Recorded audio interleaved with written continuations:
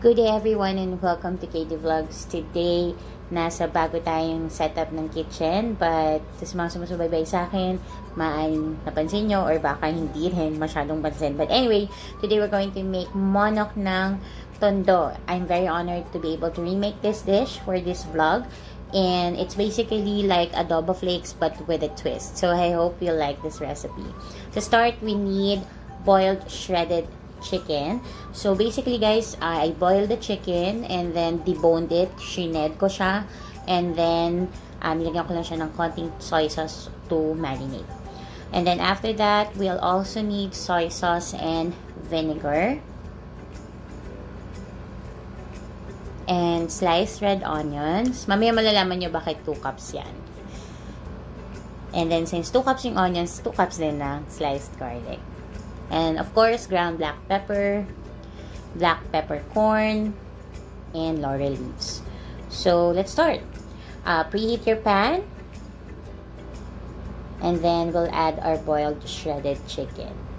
So, as I said earlier, yung boiled shredded chicken, you should boil the chicken. Uh, and then, um, pagka lumamig na siya, you debone it and then shred yung manok. Tapos, add soy sauce. So, don't worry, medyo madami yan. Pero ito talaga yung uh, distinct na characteristic ng monok. It's very flavorful. Pero hindi naman siya maalat later on. And then, add vinegar. Yan. So, wag din kayo mag-alala dahil mga half a cup lang yan. And then, add laurel leaves. So, spread nyo lang yan dyan.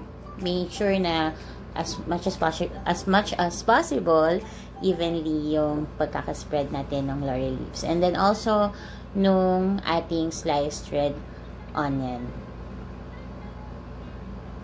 Tapos sliced garlic. Yan.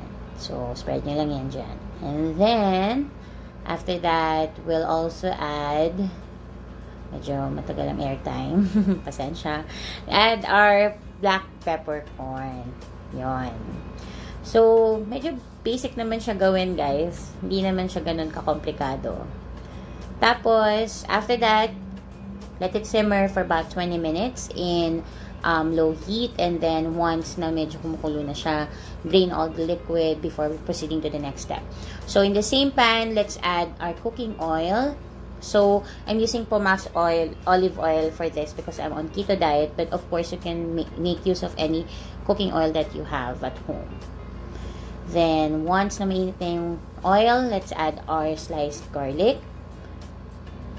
And we should mix it until mag-golden brown yung ating garlic. Kasi, mas masarap ang monok pagka may parang toasted na garlic. Yan. Then, once golden brown ng ating garlic, we'll add our sliced red onion. So, wag kayong mabahala na madami to kasi talagang kaya po mabenta ang monok sa tondo is dahil talagang sobrang malasa siya. And then, add a drained, our drained uh, cooked chicken, shredded chicken yung kanina po na first step, 'di ba? Tapos um, adjust lang natin to medium heat and the reason is para mag-toast yung ilalim. Kasi if you have watched yung documentary about the monarch ng Tondo, yung pinaka-ilalim, yung natutoast, yun talaga yung hinahanap-hanap ng mga nagpo-purchase ng monarch ng Tondo. And then just keep on mixing it para lang hindi rin siya ma-burn. So, ano to, arm exercise. And then, add ground black pepper. And then, siyempre, mix lang natin ulit. Then, adjust natin to high heat. So, high heat is para lalo pa siyang mag-toast yung ilalim. Yan, ako, ang bango na nito, guys. So, once bottom is toasted, it's done. So, see, it's very easy to do. And I hope you can now enjoy your proudly made Filipino cuisine. And I hope you like this recipe. Please do subscribe and please continue to watch my videos. I have new recipes every Sunday. I hope to see you again next time, guys. Have a good weekend. Bye!